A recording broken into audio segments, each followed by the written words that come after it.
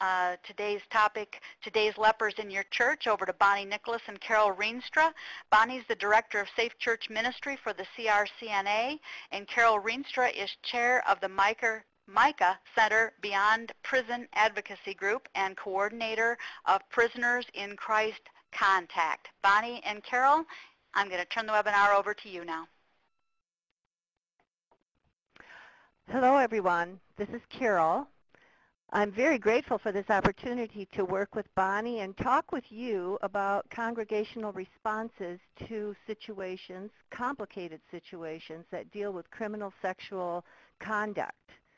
You will have, as Kim said, an opportunity to engage with us later and react to some scenarios.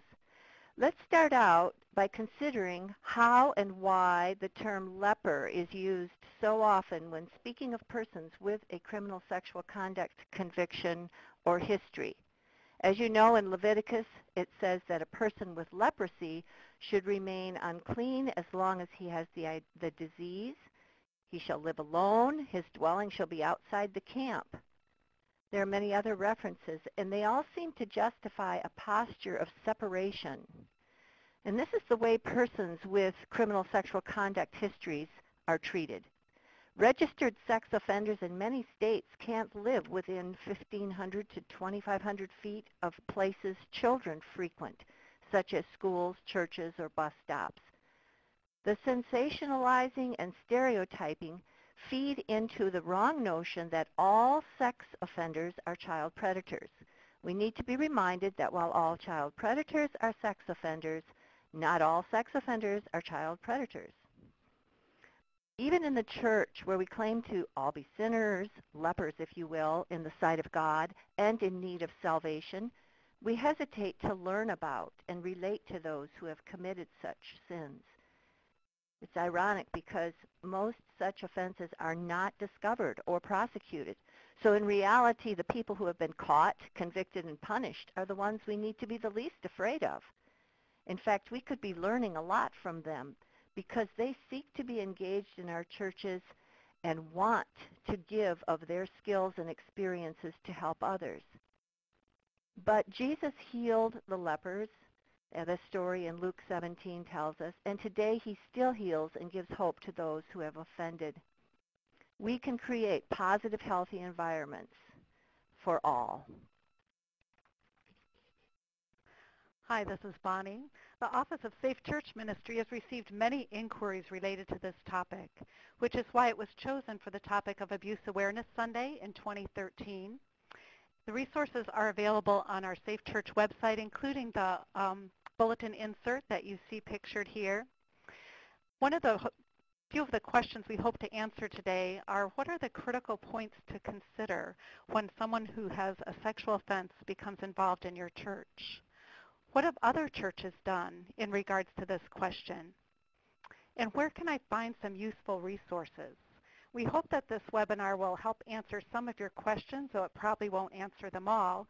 We do hope that you will take time to look at other resources that we have posted on our website as well. One resource we have posted on our website is an article from Christianity Today about sex offenders in the church. Um, it, this, as you can see from the graphic here, many people don't think that sex offenders should even be involved in the church at all. But most people, 79%, believe that they should be involved, although they believe that some limitations and supervisions will help that involvement.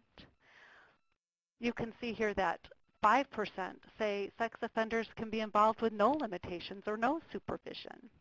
And if we don't have policies around this issue, in fact, if we have not even considered or thought about this issue, then by default, we're standing with that 5%.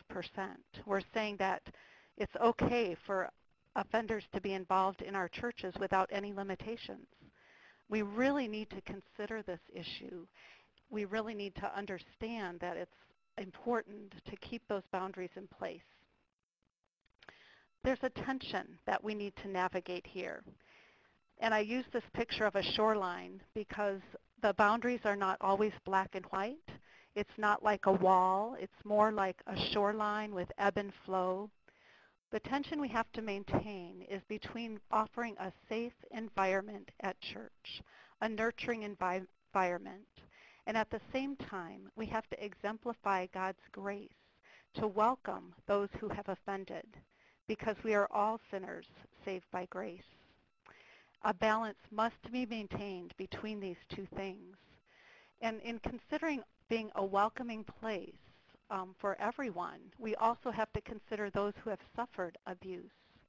Because having a person who has a sexual offense in that safe place at church can be very traumatic for someone who's experienced abuse. So we also have to consider those people when we think about making our churches safe places. Now it's easy to be either an open congregation or a protective congregation. Many congregations are inclined either to one side or the other. They're either opening, open and inviting, or more closed and protective. I'm wondering how you would characterize your own church as you think about that. Now our society sees openness and protection as competing values. But as followers of Jesus Christ, the church is called to hold these values in dynamic and creative tension. This is the way we more fully embody Jesus Christ, our Lord, who was a person who crossed boundaries, but also a person who showed love and concern. Another resource on our website is an article by um, the organization Dove's Nest, an organization committed to protecting children and it gives a lot of ideas of what, um, what churches can do. First, churches need to develop a protective environment, especially for children and those most vulnerable. Policies must be in place. A safe church curriculum for children can be very helpful, and I'll talk a little more about that later. Children need to understand what to do when something feels unsafe. They need to identify those feelings and know how to go to a trusted adult um, adults need to understand and learn how to respond to those who have offended as well as to those who have survived abuse. We have a lot to learn so that we can be more effective in our communities. The first thing is to become aware, knowing the needs of both survivors and also those who have committed sexual offenses. Churches need to take precautions and safety must always, always remain the top priority. Churches can't do it all on their own. Churches need to know they have limitations and seek help from others.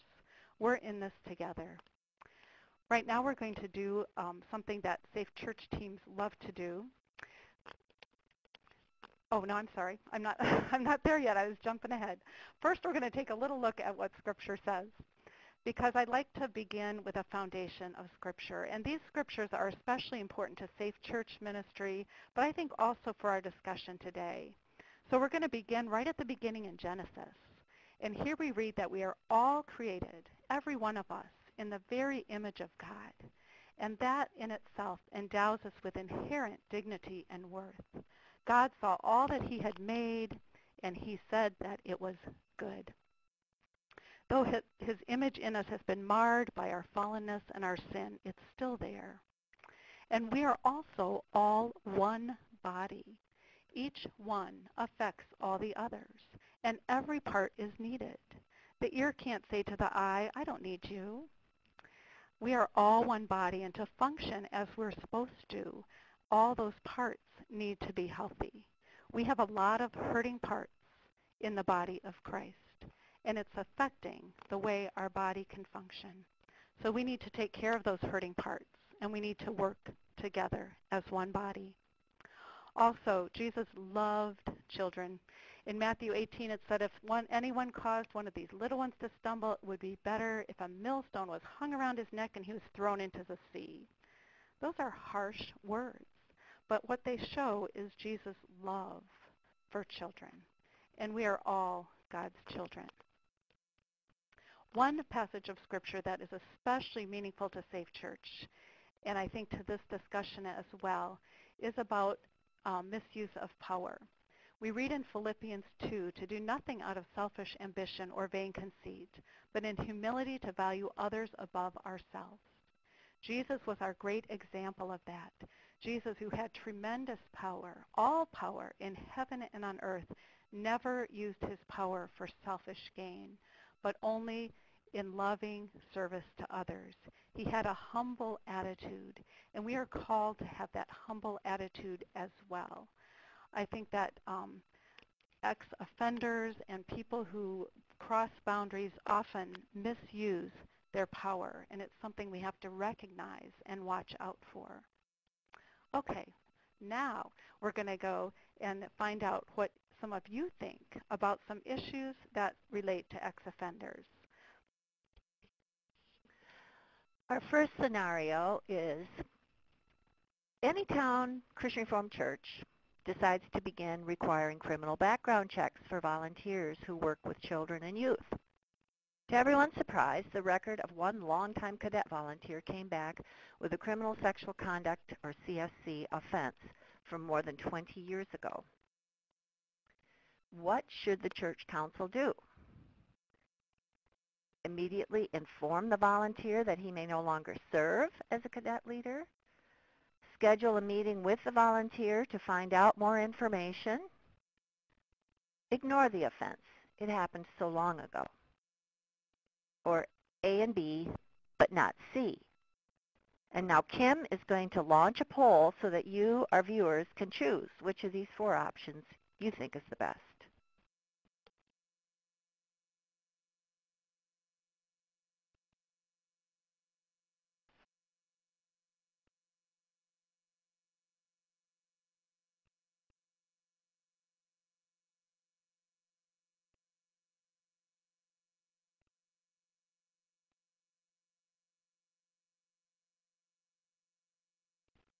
Okay, we're seeing that a majority of you suggested scheduling a meeting with a volunteer to find out more information.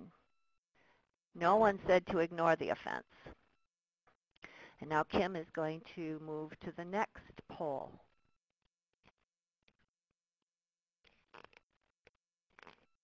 Okay, in our next scenario, we have Pastor Anyhoo who has just had a meeting with a couple in the congregation who recently discovered that a church member has a criminal history, sexual history involving offenses against more than one child. The couple is very upset that they didn't know about this and that someone with this kind of criminal record is allowed to attend church. They are concerned about the safety of their own young children. They are also influential members of the church and good financial supporters. They have threatened to leave the church if something isn't done. So what should Pastor Anyhoo do? Should he dismiss the couple's concern? The church must be a welcoming community to all, right? Should they tell the person with the criminal sexual history that he must leave the church? Should they schedule a meeting with the church council to discuss this situation? Or should they schedule a meeting between the person with a criminal sexual offense what, oh, okay, between the couple, I'm sorry, with, between the couple and the person with a criminal sexual history. What do you think Pastor Anyhoo should do? Kim, launch your poll.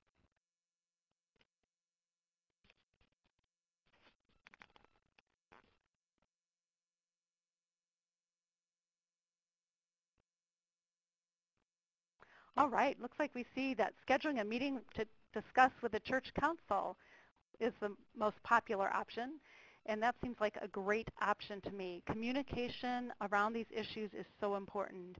We need to be talking about them. Okay, Kim, you can move that poll.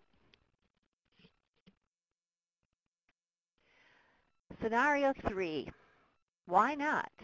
An involved church member and loving mother has refused repeated requests to work in the church nursery. Finally, when pinned down on the issue, she confessed to a church member that she has a criminal sexual conduct offense on her record. She explained that when she was falling in love with the man who is now her husband, they had consensual sex, which was found out by his parents. Since she is two years older than he and he had not yet reached the age of legal adulthood, his angry parents had charged her with rape.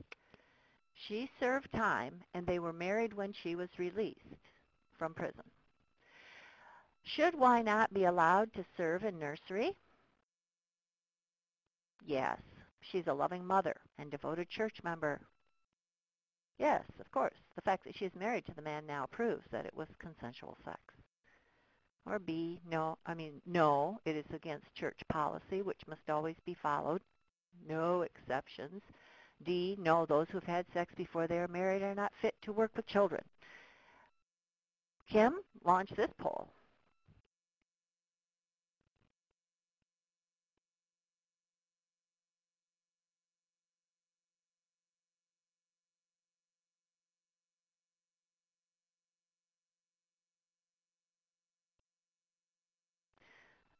We see there's some differing opinions on this one. It's against church policy, the policy that if you have a criminal sexual history record, you should not work in the nursery. Some of you feel that way. Let's move on to our last scenario. And by the way, that last one is a true scenario. I had a church call me with that very scenario and wonder what to do. Um, I'll just let you know that I recommended that they follow their church policy. There are a lot of ways that people can be involved in the church without being in nursery or in Sunday school if they have a record of criminal sexual history. Anyway, let's move on to this one, number four. Vivian, a married woman, was sexually assaulted by a church member. He threatened her if she told anyone. One month later, she had a nervous breakdown and sought counseling. With a counselor's help, she was finally able to tell her husband about the assault. So what should Vivian's husband do now? Should he confront the perpetrator and ask him to leave the church immediately? Should he file charges against the perpetrator? Should he encourage Vivian to continue to receive counseling and leave that congregation? Or should he inform the pastor and encourage him to call a meeting with a mediator for all parties? What do you think Vivian's husband should do?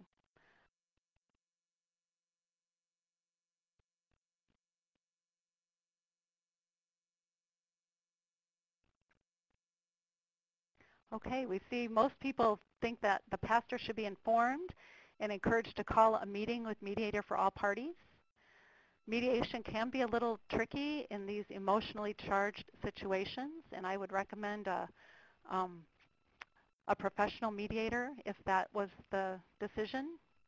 Filing charges is always a good idea. Perpetration will not stop if we don't file charges and convict people who perpetrate violence. But one reason I included this scenario is because it it shows us that there are sexual predators among us that have not been convicted. In fact, Dr. Lisak has done research on what he calls the undetected rapist. It's startling research. These crimes go unreported and unprosecuted. Um, in other cases, a plea deal may have been reached, so a criminal record may not reflect an actual crime that was committed. So it's important that our policies not depend only on a background check. A background check can never act as a standalone screening procedure. It will never detect a first-time offense or those who are undetected among us. A screening process should always include an application, interview, and checking references. Um, all right, we're going to move on now As these four situations demonstrated, each case is unique and complicated. Some of them had clearer answers than others. They each warrant prayerful and careful analysis and discernment. And to study the facts about criminal sexual conduct helps at least a committee or a group of people in the church to become a little bit more expert in the area. We should know that there are different types and degrees of criminal sexual conduct crimes. In Michigan, for example, there are four degrees uh, under the law, and they cover a range of sexual conduct and levels of force or intimidation. Survivor re resistance is not a factor in assessing criminal sexual conduct, and the law is gender neutral. Marital rape has also been illegal in Michigan since 1988. Trying to understand some of the causes of sexual and behavioral perversions. Many people talk about changing cultural values, internet pornography, violence portrayed in the media, or mental health issues. the area of lack of accountability and support is one that I think churches can deal with. And we can do a lot to build a healthy functioning community so that we go beyond safety to a, a situation where people are flourishing. There are many myths and facts about criminal sexual conduct, and I'm just going to list a few of them because um, I'm sure you could come up with more. Most sex offenders commit another offense. According to an in-depth study of about 10,000 released prisoners by the Bureau of Justice Statistics, the reconviction rates for new sex offenses by those offenders over a three-year period were only about 3% for all types of sex crimes, rape, statutory rape, sexual assault, child molestation. The myth that child molesters spontaneously attack when they see a pot potential victim is not true. Sex offense rates are on the rise. That is questionable. It's probably more the conviction rate and the awareness and the media attention. Strangers assaulting children. Actually, the truth of the matter is that children are assaulted by someone who knows them, a family member or neighbor more often than by a stranger. The myth that treatment for sex offenders does not work has been disproved treatment that is geared toward the type of abuse and the reasons behind it can be very effective. Residency restriction laws reduce offenses. Actually, residency restrictions are fairly recent, and it is unclear if they make communities safer or not. News coverage of sex offenders has increased over the last 20 years, although the incidence of sexual assaults dropped during the same time. And the news media actually encourages these myths. The public and our politicians have opinions shaped by the media, and, they, and that results in legislation to cope with fear and creates a, an illusion of safety rather than actual protection. Trying to understand those who offend is important because they're not all the same. Some people cross boundaries out of ignorance or negligence.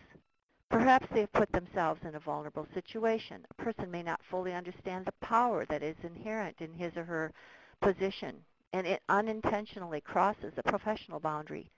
This may or may not be a criminal offense, depending on the situation. Some people are sexual predators and gain a particular kind of excitement or satisfaction in the experience most sexual predators have multiple offenses before they are caught. And of course, pedophiles are the ones that we spend the most time creating laws and registries and restrictions for because it is um, a very serious offense. But these situations are rare. Looking at the predator or the um, person who commits an offense, some of the common characteristics would help us get, understand how to prevent problems and how to respond appropriately. There may be denial, if not flat out denial, at least a minimization of the actions taken. Often the one victimized is blamed with phrases like, she came on to me, or he had it coming. Excuses and rationalizations can be a part of the blame game. I was drunk or I didn't mean anything by it. Often there's a lack of understanding that a wrong has been done and an inability to experience the empathy toward the one who has been wronged. What is needed is for a per perpetrator to take responsibility for his or her actions and acknowledge the harm done and what is, do what is possible to make amends. That's why a covenant um, understanding should be created between the perpetrator and the community in which he will be working or living.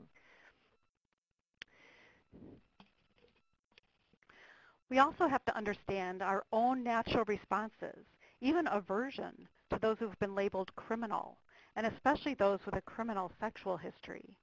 Responding out of our own sense of fear or otherness will be felt by the one who has offended. Then, because of their own emotional issues, they may react um, in ways that they're not even consciously aware of, but may be hurtful in building trust or genuine relationship. They may have learned behaviors that were helpful to them in one context, but now are hurting them in their new context. The emotional reactions that we have can have a huge influence, even when we're unaware of them. All of us have much in common with those who have offended. We must move beyond the us and them mentality to promote the kind of relationship that can provide honest accountability. Um, shame is one of those emotional responses that's very common with those who have offended and also with those who have been victimized. It's very complex, but it often plays a big part in our emotional reactions whether we're aware of it or not. Shame can be beneficial. If someone has no shame, they could be narcissistic. Um, but if they have toxic shame, on the other hand, shame can make them feel worthless, depressed. And in either one of those situations, no shame or too much shame, um, it can lead someone to be unable to form healthy relationships and to live in the community, such as the church. Now, as a church, we have to learn to understand and manage these shame reactions. Shame brings with it feelings of vulnerability, rejection, alienation, and separation from others. The effects of shame can govern us without us even realizing it. We react out of our own shame response rather than responding to one another in an intentional way. And if we lack awareness about the way we are treating one another and awareness about the way we're being perceived, that can really hinder any kind of effective relationship that can lead to restoration and healthy community. Bill Strew is a now retired psychotherapist, and he's worked a lot in the field of shame and its impacts. He once told me, we're all bipolar, you know. We're all sinners, but by God's grace, we are God's covenantal children. That is true for all of us, whether we're saints or criminals. We need to maintain an awareness of God's grace in our own lives so that we can extend that grace into the lives of others in our church. That's the only way we're going to be able to become the community, the church that God is calling us to be. The idea of sanctuary, uh, we could probably spend a whole webinar on that one idea. There are so many images in Scripture. A cloud of God's glory filling the tabernacle temple. A holy place, a very holy place that cannot even contain his glory. There are the cities of refuge in the Old Testament, refuge for those escaping from retribution from others. That's a kind of sanctuary too. And the idea of providing hospitality to strangers, which goes all through Scripture, fits very well with the idea of sanctuary. More recently, many churches are part of a sanctuary movement, providing safe haven for those who are vulnerable and need protection. But we have to understand that in our desire to create sanctuary, it's actually the boundaries that we put in place that creates a safe space. There is no sanctuary where there is no safety. Boundaries are a necessity. And again, we have to consider those who have suffered abuse and how traumatic it is for them to be in a same place with someone who has abused. It's, um, it's traumatic. So how do we create a safe sanctuary for everyone? Our prayer is like the song, Lord, prepare me, prepare us to be a sanctuary. And part of that being prepared is to be prepared before um, someone who has offended joins your church. You want to already have policies in place. Some churches are not ready for the for an offender to join their church. You have to know about the behavior of the one who has offended, understand the dynamics of offending. You also need to know the resources that are available and develop a detailed plan for um, before the person joins your church. So I want to encourage you to visit the Safe Church website. We have sample policies there sample covenants of conduct A covenant of conduct is something that is an agreement between the one who has offended and the church that limits their involvement.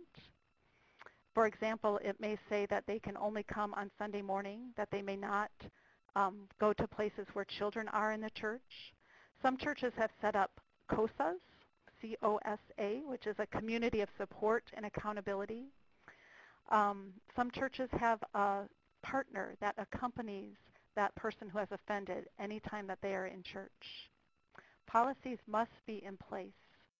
So we want to be prepared to prevent any um, any risk of reoffense. We want to make sure that that's as little as possible. Strong policies in place, supervision is really important, and education is important. The congregation needs to be uh, aware of what is going on and how to respond and be aware of potential dangers. I just want to point out the Circle of Grace here. This is a program that Safe Church is promoting for children. It helps children understand when something feels unsafe. It helps children understand how to go to a trusted adult. It's a prevention tool that is so valuable and is so valuable, especially in a church where there are people who have offended sexually. We've talked a little bit about, and we will talk more about restorative and covenantal frameworks.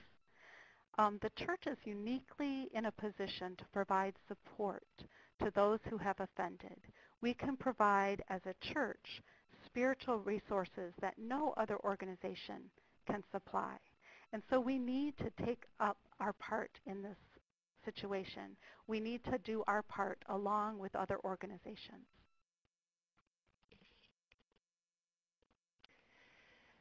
How to do that?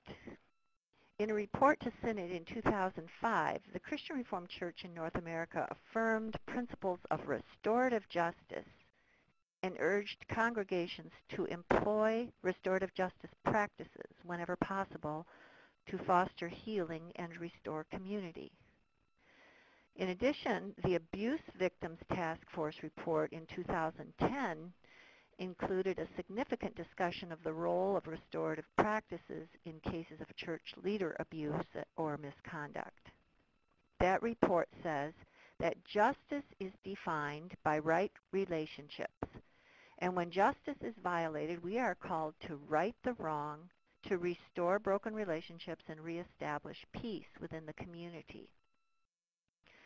A hallmark of restorative justice practices is that they take into consideration and involve as much as possible three parties, the victim, offender, and community. And what that looks like in terms of building a successful covenant of conduct or COSA is that the victim reparation offender responsibility and the communities of care reconciliation intersect. The more they intersect, the more effective will be the outcome. There are excellent training resources available. This past summer on the C2C bicycle tour, my husband and I had the opportunity to meet Stan, another cyclist, who works in some Canadian schools to facilitate peacemaking circles and restorative practices. He also is involved with the, the Shalem Network. The website is on the screen, which provides training in faith care, communities affirming restorative experiences.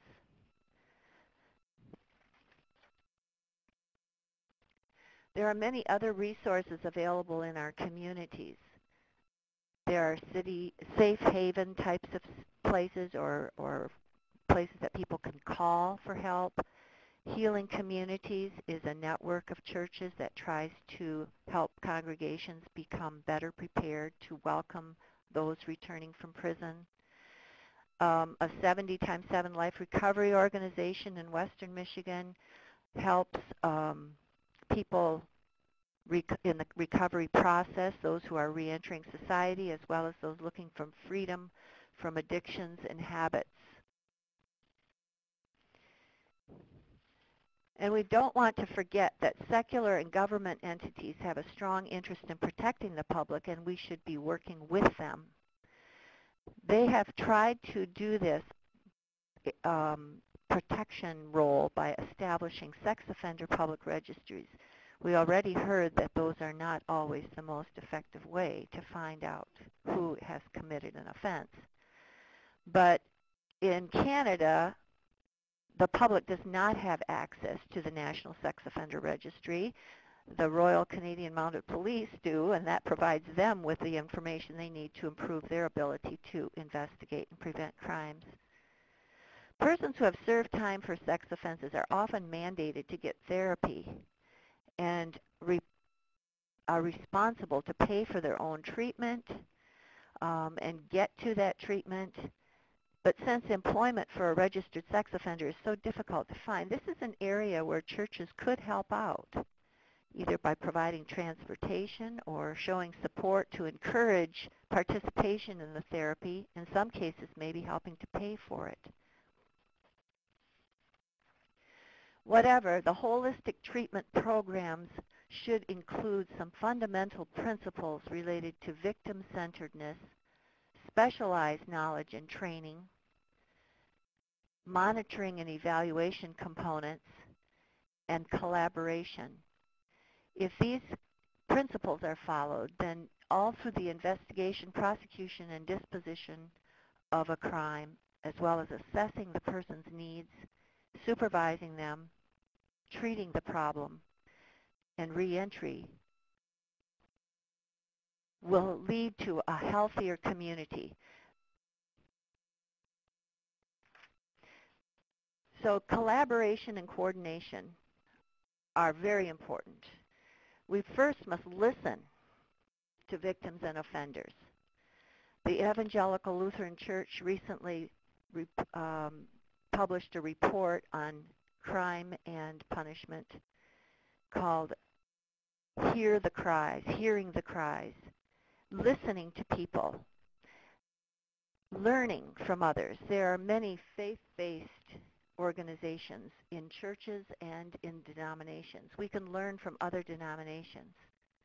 There are groups such as Genesis Group in Grand Rapids, similar to probably um, other support groups in your areas. Canada is home to some of the most advanced treatment programs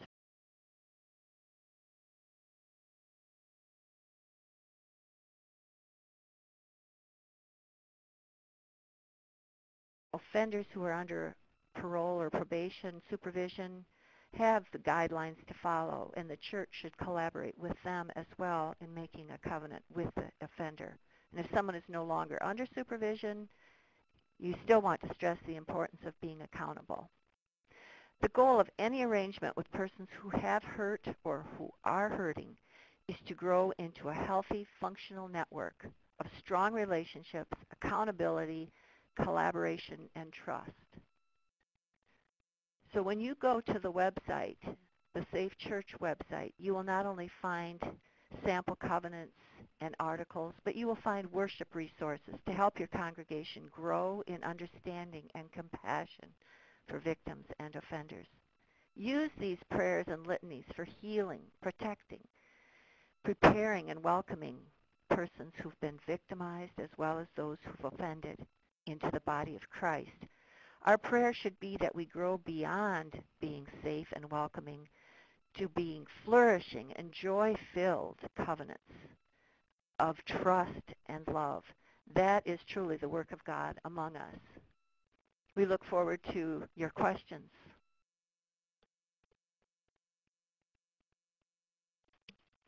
Thanks, Carol and Bonnie. Got a couple of questions have come in from our audience, and for those of you that wanted to wait and see if your question was going to get answered along the way, um, now's the time to send it in if your question didn't get answered during uh, the presentation. So I'm going to go first to um, first question that came in. How many years do persons with CSC normally serve, and are they cured when released?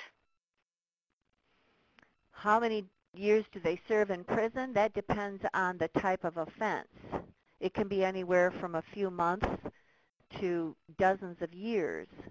And of course, whether or not people are cured depends on the treatment that they receive while in prison. Some prisons offer, some states or federal penitentiaries offer good treatment programs. Others, it takes so long for people to get into the programs that their release date is put off and put off and they never have a chance to build healthy relationships. So I guess that would be my answer to that question. Okay, I'm not sure if this question would be for you or Bonnie, but um, what are the major characteristics of covenant agreements that churches and people with CSC implement? Um, yeah, we have a couple samples of covenant agreements on our website. One is in a kind of a list form and one is um, in a paragraph form. But usually those will um, limit a person who has a sexual offense so that they can only be at church at certain times, so that they would only be in certain places in the church. Um, in other words, if the all the church school classes are down in the basement, the covenant of conduct may say that the person is not allowed to go into the basement. Um, I actually visited the program in western Michigan that was mentioned, the 70 times 7, and they have their whole children's area. Um, you need like um, that's super secure. You need fingerprint access to get into there because they have so many ex-offenders in their church, many with um, criminal sexual history, that they work very hard to keep their children safe in that environment. So they have a special children's area. Again, it really depends on the church. So each covenant of conduct will need to be adapted to fit your situation. And the main idea behind it is to keep the children and those most vulnerable in the church um, protected.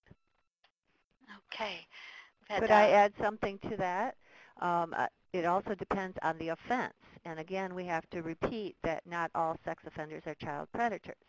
The, Im- the assumption many times by churches is that that's what we're dealing with. And, it, and so it, dealing with the person who has offended is a very important step in creating a, a covenant of conduct and knowing what their limitations and needs are. Okay, and I just want to mention to the, uh, Bonnie mentioned the Safe Church website. Uh, for those of you that have your um, computer screen up and uh, looking at it, at the top right-hand side says for more resources related to today's webinar topic, please visit the Safe Church website at, and there's the URL is there, and it says to click on the click on information for Abuse Awareness 2013. So before anybody asks the question, the website address is up on the screen, and we'll put it up one more time before we end today. Um, Let me just say too, on the on our website, on the left-hand sidebar, you'll see where it says click on resources for Abuse Awareness Sunday, and if you click on that, it'll get to you to 2013 is all about this topic. Okay. And we have several more questions have just come in. Should all parents be informed if person with CSC is attending and how? That's a very good question. And churches have handled this in different ways. Um, some churches do send a letter out to all parents, letting um, parents know. Um, other churches choose not to do that, but only have a few key people in the church know. It's really, that's really the minimum for, in my mind, is that a few key people really need to know. The person who is in charge of um, youth group, the children's ministry coordinator, um, a couple elders and the pastor. You know, you need to have a group of people that is aware of the situation so they can maintain extra vigilance. But whether or not to inform all the parents is um, a decision that churches make on their own. And again, that might depend on the offense, on um, the how, you know, what they feel the risks are. You always have to weigh the risks and the um, and the costs uh, along with the benefits of any action that you take. And so churches need to work that out among themselves. Okay. Here's a question for you. If an, an, offender never accepts responsibility for his actions, do you see any way a church can welcome him into full fellowship? I don't think so and but that doesn't mean necessarily that the offender has to talk about it in order to take responsibility. Um, it could be that you know from from the history and from the parole officer that the, per the person has taken responsibility, has served his time. A lot of these crimes, too, people age out of. Um, so I don't think it means that if you set a person down and say, what, how do you take responsibility, that they wouldn't, um, they wouldn't be honest with you. Um, but definitely, if they are resisting and still perpetrating behaviors that are worrisome, it would be important to say, we cannot have you in our congregation. Okay. Um, I would agree with that and just want to add that it, that's often a long process. Um, I know many people who work with ex-offenders and um, they say it's often six months in weekly group before an offender will even realize that they are um, that they are starting to see that they have caused harm. It just takes that long because a lot of times they've learned patterns of thinking that um, they don't have the empathy skills necessary to really understand the harm that's been done and take that responsibility. So often that's a long process of taking responsibility and professional help is needed. So, um, but yeah, I would agree that when a when an offender does not take responsibility, it, it makes it very difficult, and you have to be extra wary in those situations. Okay, here's another question. We still got a few left here. Uh, do sexual predators see churches as an easy place to prey on their victims? Absolutely. Absolutely. And we read um, some of those characteristics of minimization and denial, and um, and often um, people who have offended sexually are very charming people and can make very good first impression. And um, church members who want to be, are kind of naturally welcoming, who are naturally wanting to see the good in people, um, you put that together with someone who's manipulative and can come across very well, and it's just a very dangerous combination. So um, I would say yes. And one thing I like to recommend to churches is that they um, put their safe church policies on their website so that a predator who is looking for a church can say, oh, well, they have a safe church policy. Maybe I won't go there. Maybe, you know, it just shows that you're aware of this and care about your children so I would encourage churches to make their safe church policies known. Um, that can be a deterrent, I would think, to a sexual predator. Okay, thank you. Uh, here's one about uh, background checks, and we did have a few questions come in on registration forms about these as well. Uh, one of our audience says, I have a hard time finding a reliable source to run background checks. Do you recommend one? Um, I, I really feel I should have a better answer to that question than I do, um, but I don't. Uh, in, I know that in Michigan, um, uh, advantage that we have here is that background checks are free for nonprofits through ICHAT.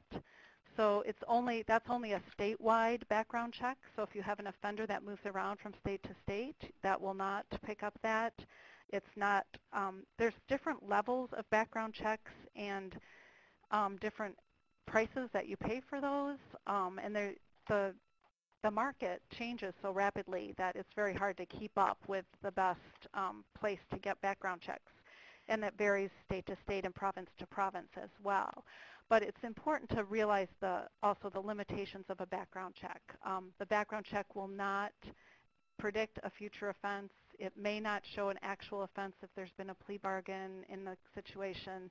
Um, so a background check is only one part of a of a screening process that should include, um, you know, an application, interview, um, checking references. Someone should be in your church for a year or so before they take on a leadership position, just so you get to know them.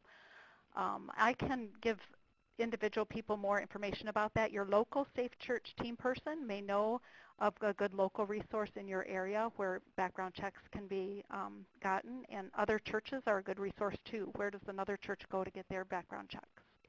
Okay, and just want to let our audience know that if your question cannot be answered in the depth that it needs in the webinar today, uh, your questions are captured uh, for us um, in in a form, and we can put the uh, put those questions in the hands of today's presenters so that they can respond to you individually by email after uh, the event today. And I'm thinking, Bonnie, that in light of your your answer that you just gave, that this question might fall into that category. It says there are different levels of background checks, and that's part of the confusion. What level should a church run and consider reliable?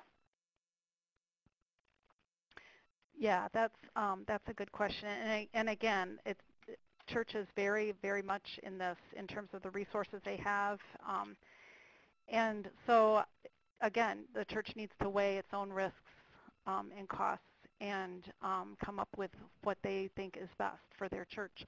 At the same time, um, again, I want to just emphasize that a background check is only part of a total screening process. And, and while you're on the subject of screening processes, it kind of leads right into um, policies and procedures. Um, how does uh, how are the necessity of policies communicated to church administration? The people in the webinar today may go back to their church and say, "Gee, there's some things we need to do." How do they how do they communicate that best to the people that need to know in their church? That's a great question. and I wish I had the perfect answer that worked with every church and with every council. Um, but I would say, yeah, I, I'm happy to give you um, information from Safe Church or from a Safe Church person, get another person together who agrees with you, and um, make an appointment with your church council and say, you know, I heard this on a webinar. I think our church really needs to consider this. Um, we do have people um, who have offended, who are in our churches. We need to be aware of that. We need to be considering it. We need to have a policy in place. And um, so, yeah, get someone with you who you can go together with and meet with the church council and get a little committee together to start drafting a policy for your church. Um, so I'd encourage you to do that, and if you want help with that, contact a Safe Church person or my office. Okay. I'm going to jump back to questions from the audience. Um, here's one. Uh, what does the Genesis group do? the Genesis recall. group in Grand Rapids brings together professionals and pastors and some former offenders for a monthly meeting to discuss and support and share. Uh, they do trainings for persons similar to what Bonnie's talking about with church groups. And it's just another resource that builds communication and transparency so that folks become more aware and are willing to collaborate with each other and know who's doing what in our community. Maybe other communities have that sort of, of network, and if not, it would be good to, to start one. Maybe your church could be the impetus to get something like that going. Okay. Um, I think that's going to wrap up the time that we have for questions today during the webinar. I want to share with our audience um, and thank Carol and uh, Bonnie. I uh, hope you enjoyed presenting on this topic today. Um, I want to draw your, the audience attention to the Safe Church website. Again, it's www.crcna.org forward slash Safe Church and click on uh, the link for Abuse Awareness 2013. Bonnie, you did say that that was where most of the resources are? Yes. Okay. And um, thanks to both of you for a great presentation, and thanks to our audience for the really good questions that you sent in today. Those were um, the answers to those were quite informative. I just want to let you know a few more things. As we um, exit the webinar today. That um, at the end of today's webinar, there'll be a survey that pops up in your window, and we'd like to know uh, if you like this type of topic, how did we do, did the format uh, lend itself to helping you learn more about it. Uh, we really appreciate your feedback. There's room for comments, and if you want to leave your email address uh, so that we can respond to any of your comments, um, you may do that. Otherwise, your responses are confidential. You can continue the discussion. Uh, Bonnie recently posted a blog about this very webinar, so if you would like to post comments there or start your own dis uh, discussion in one of the discussion forums, uh, Safe Church has a discussion forum. There's a number of topics that are already being discussed there. You can find them on the network at crcna.org forward slash network. And thanks to Ministry Shares, these webinars are made possible through the generous gifts of the Christian Reformed churches in support of Ministry Shares. And they account for nearly 25% of all the ministry that we're able to do together as a denomination. Our next webinars will be announced in 2014. Uh, those of you who joined us today joined us for the last one in 2013, and we thank you for joining us today. Uh, you can keep track of what's coming up with webinars um, on our page at crcna.org forward slash webinars. You'll be able to see um, today's recording in about 24 hours. Um, you can register for upcoming webinars when the new list comes up. There's still some topics out there that are proposed for next year that are taking votes. And if you want to subscribe to the weekly newsletter that goes out every Tuesday, you can always get your webinar information on that. And that's at crcna.org forward slash uh, network. And we thank you again for joining us today. We hope you enjoyed today's topic. Thanks again to Carol and Bonnie. And until we meet again in another webinar, uh,